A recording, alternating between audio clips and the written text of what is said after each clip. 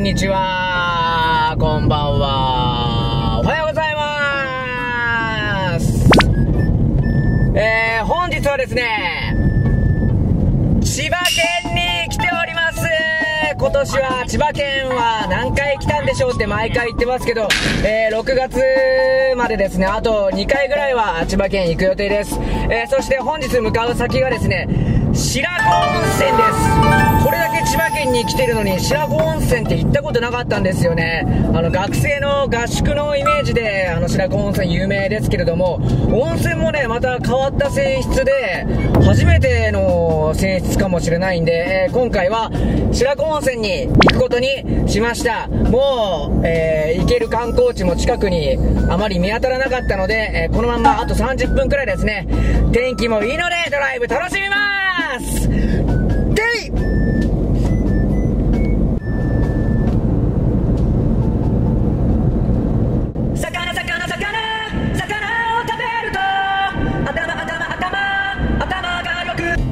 なんかいい感じの道に迷い込みましたね。えー残り15分くらいで着いちゃうんですけどまだチェックイン時間まで全然時間があるんでうわいい道すごいまっすぐよ。えー近くにもう海が近いので砂浜でも見に行きますか。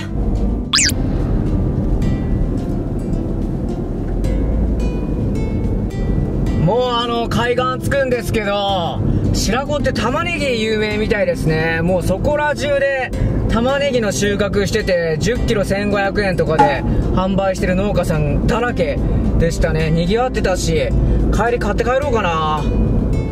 着きました。中里海水浴場でいいのかな。駐車場が平面であのーコンクリートの駐車場がちゃんと用意されてましたね。で目の前が砂山ですね。これ怖っ。一旦降りてみます車内はうるさ何がしたいんだあのバイカーは。車内はあのーすげえ暑かったんですけどね。風はだいぶ冷たいですね。これ行けるのか下柵があるんだよな。一応海水浴場だよね。近くまで行ってみるか。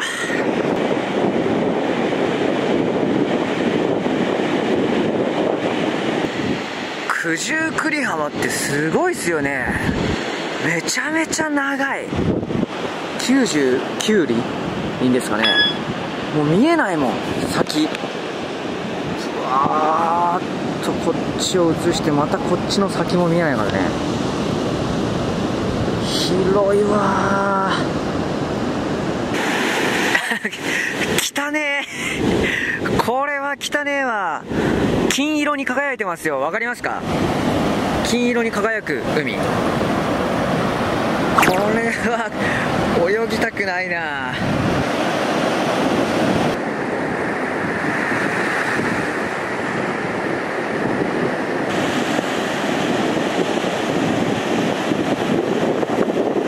よく見ると牡蠣が散らばってるんだよな。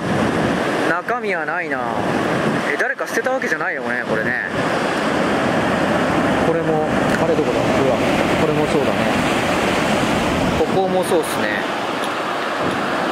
あ中身あるじゃん。あるかこれえ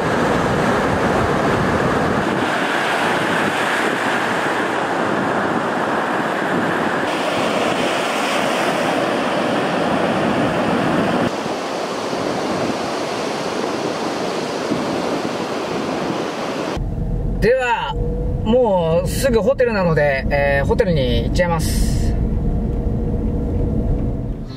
到着しました。本日宿泊の白子ニューシーサイドホテルさんですね。渋いっすね。また後でチェックインします。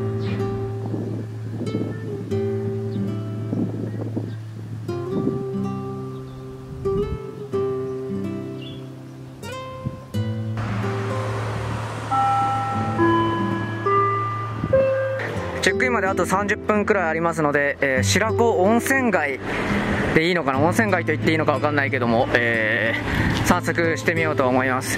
本日はですね、えー素泊まりなのでこの辺りの飲食店で夜ご飯を食べるつもりです。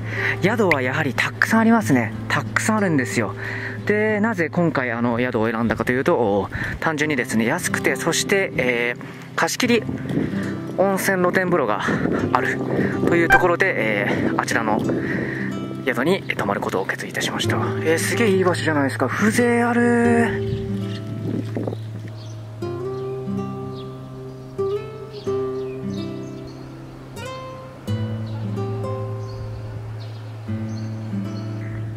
白子といえばテニスですね。テニスコートがたくさんあるイメージでしたけどやはりありましたね。綺麗なテニスコート。本日の夜はこちらのカンナ部屋さんに行く予定なんですけどね。無事見つけました。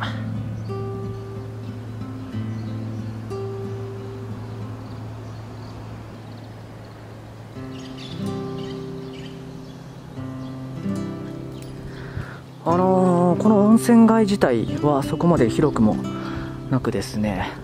結構古い建物多いんですけど営業されているあの建物が多いのでやっぱりまだ全然週末とかになると活気はあるんでしょうね。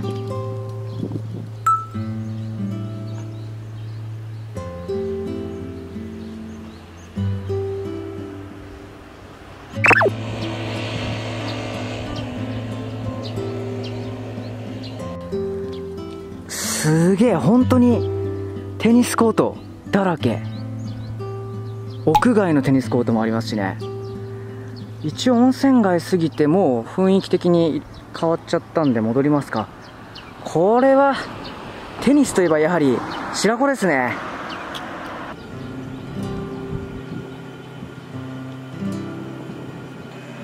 白子温泉の源泉がありましたね。これ入れないんだよな。柵があってでさっき上から見てみてもなんもなくて。なんだこれ？それではチェックイン時間も近くなってきましたしある程度見終えたので、えー、宿に向かいます。結構テニスコートが多いせいかリゾート感もあり静かですごくいい場所に感じましたね白子温泉。では宿へ。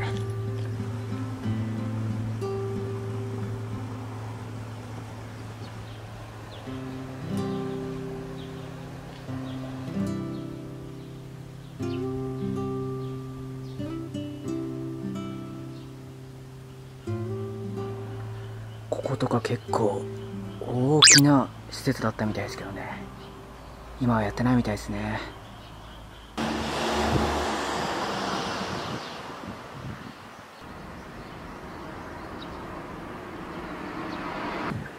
3時になったのでチェックインします。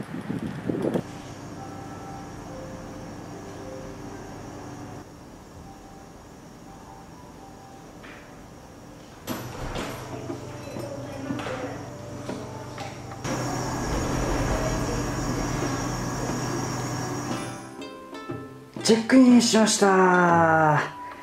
そしてこちらがお部屋です、えー、すごくレトロなお宿さんでマジでいい雰囲気です。大好きです。こういう雰囲気。ベランダかなり広いんですか？おお広いの。これ外出ていいのかな？出れるっぽい。景色はあの海は見えないんですけどね、えー、それではですね貸し切り温泉露天風呂を予約したので早速行ってみます。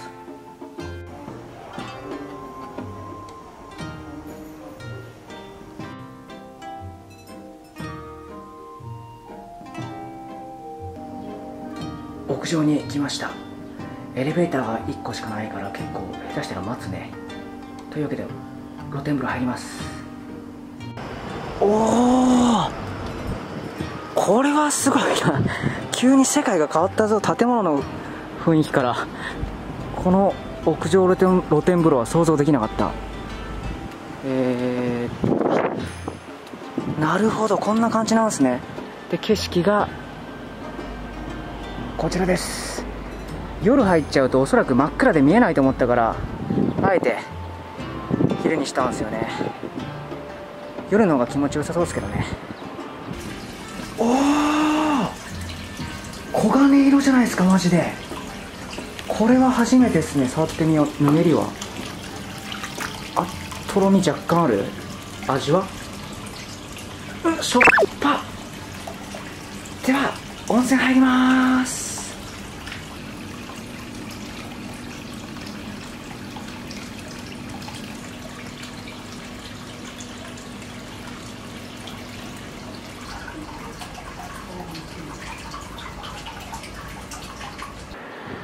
温泉入りました。気持ちよかった。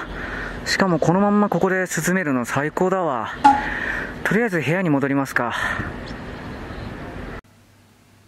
部屋戻ってきました。いやーマジで温泉気持ちよかったな。夜も入りたいな。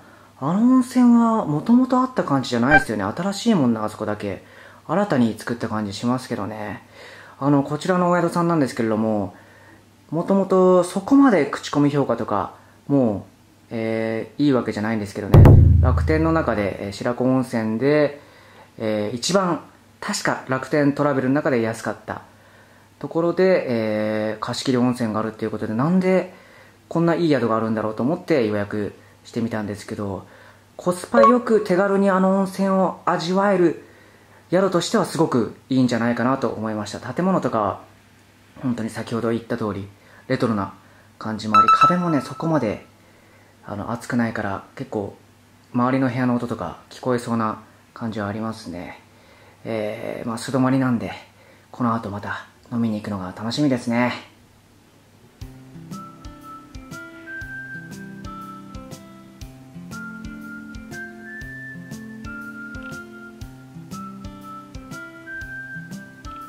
貸し切り露天風呂2回目以降は結構高いですね。まあしょうがないか。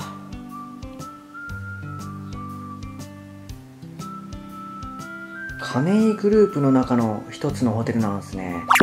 この辺りにかなり土地を持ってますね。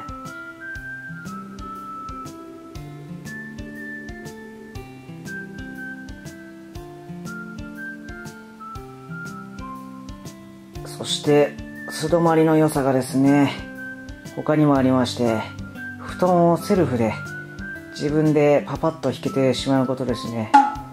夜ご飯付きの場所とかだとねあのー、ご飯の最中とかに布団を敷きに来てくれてっていうのを待たなきゃいけないんですけどすぐ布団を敷いて仮眠を取れるというのは私にとって嬉しいことですね。